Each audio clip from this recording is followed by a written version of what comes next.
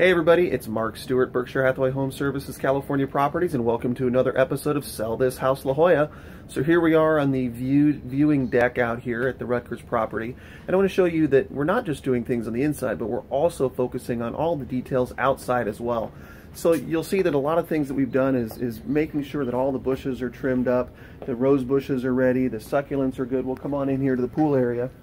Uh, you'll see that everything just is really bright and fresh and clean and well maintained all the way up to the palm trees which we had trimmed just so they look really really great and accentuate this really beautiful backyard oasis here at the Rutgers property.